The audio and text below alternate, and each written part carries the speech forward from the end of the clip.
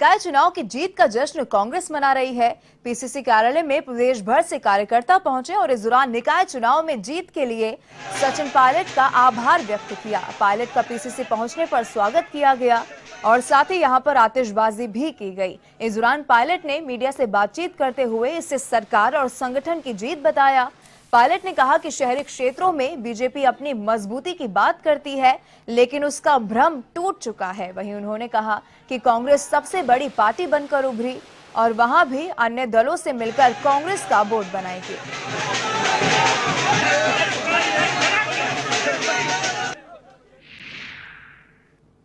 कि भारतीय जनता पार्टी उनचास 49 जगह जहाँ चुनाव हुए मात्र छह जगहों पर उनको बहुमत हासिल हुआ है। ये चुनाव सरकार के बनने के लगभग 11 महीने के बाद हो रहे हैं। और लोकसभा चुनाव में जहाँ भाजपा सभी सीटों पर जीत कर गई थी, आज शहरी क्षेत्र जो भ्रम भारतीय जनता पार्टी को है कि शहरी क्षेत्र में बहुत मज़बूत हैं, आज वो भ्रम निर्णायक रूप से टूट गया है।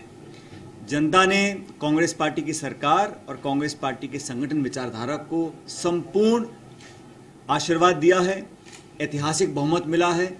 पिछले कई चुनावों में इतना बहुमत कांग्रेस पार्टी को नहीं मिला। 49 जगह चुनाव हुए। वहाँ अधिकांश जगहों पर स्पष्ट बहुमत कांग्रेस पार्टी को मिला है।